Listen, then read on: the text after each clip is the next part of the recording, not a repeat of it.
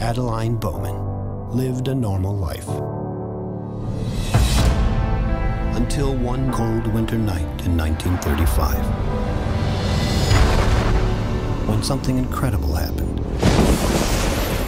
From that moment, she would never age another day. I'll always be your mother. And you'll always be my daughter. Happy birthday, Mama. Don't you miss having someone to love? It's not the same when there's no growing old together. Without that love is just heartbreak. Dad, this is Adaline. How is this possible? You look exactly like this old friend of mine. We were very close.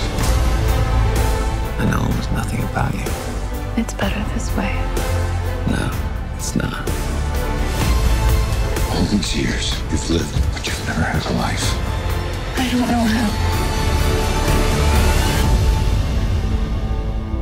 Tell me something I can hold on to forever and never let go.